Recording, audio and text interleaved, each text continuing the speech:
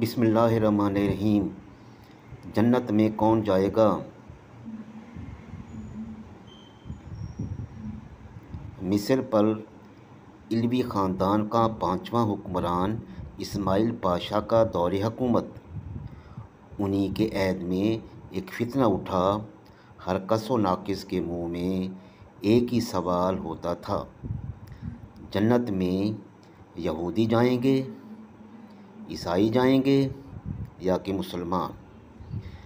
اسماعیل پاشا نے مسلمانوں کی طرف سے اس دور کے عالم امام محمد عبدہ، عیسائیوں کے ایک بڑے پادری اور یہودیوں کے ایک بڑے ربی کو بلا کر ان کے سامنے یہی سوال رکھا۔ جنت میں کون جائے گا؟ یہودی، عیسائی یا مسلمان۔ مسلمانوں کی طرف سے امام محمد عبدہ نے کھڑے ہو کر ایسا مدلل جواب دیا کہ محفل میں بیٹھے تمام ناقدین کے ساتھ عیسائی پادری اور یہودی ربی اپنا سا منہ لے کر خاموش رہ گئے اور بغیر کوئی جواب دیے خاموشی سے اٹھ کر چلے گئے۔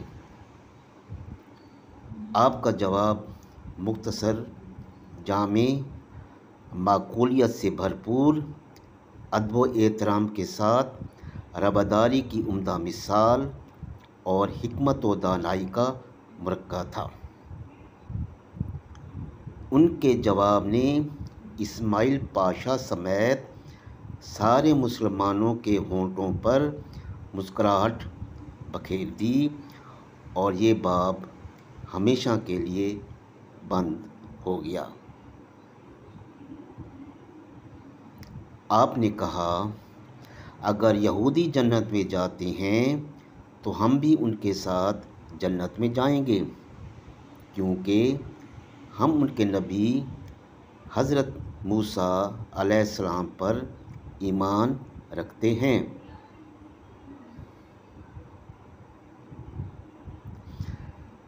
اگر عیسائی جنت میں گئے تو ہم بھی ان کے ساتھ ہی جنت میں جائیں گے۔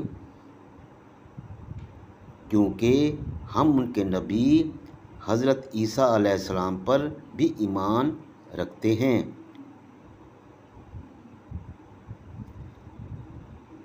لیکن اگر مسلمان جنت میں گئے تو ہم صرف اللہ جل و کی رحمت کے ساتھ اکیلے ہی جنت میں جائیں گے۔ ہمارے ساتھ کوئی یہودی اور عیسائی نہیں جائے گا، کیونکہ انہوں نے ہمارے نبی حضرت محمد صلی اللہ علیہ وسلم کو نبی نہیں مانا اور نہ ہی ان پر ایمان لائے ہیں۔